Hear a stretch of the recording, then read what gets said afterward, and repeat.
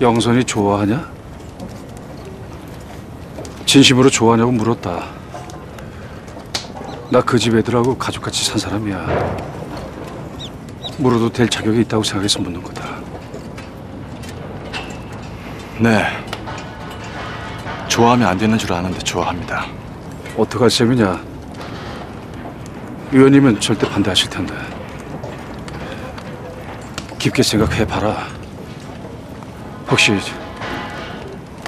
동정심이 애정이라고 착각하고 있는 건 아닌지?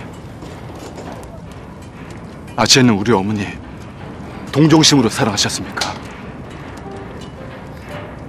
허약한 몸으로 불행한 결혼 생활을 하는 윤희실에 대한 동정심이셨습니까? 그래서 그렇게 평생을 헌신하신 겁니까? 이, 이노야,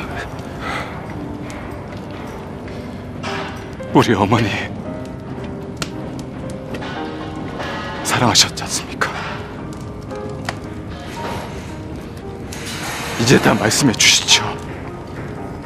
그래. 너한테 죄를 지는 줄 알았지만 너희 어머니를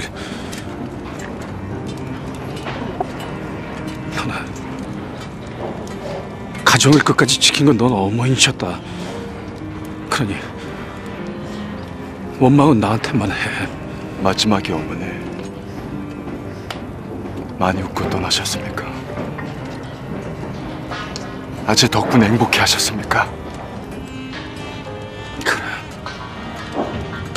나도 이실이도 행복했다.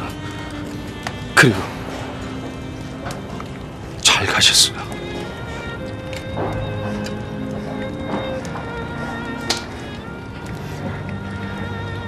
나 아재 용서 못 해드립니다. 아시죠? 죽어도 다시 태어나도 우리 어머니 아들이기 때문에 용서는 못 해드립니다. 허나 이해는 합니다. 저도 이제 한 사람을 사랑하니까요. 이제 앞으로 절 보고 억지로 피하지 마십시오. 저도 인사 안 드리겠습니다.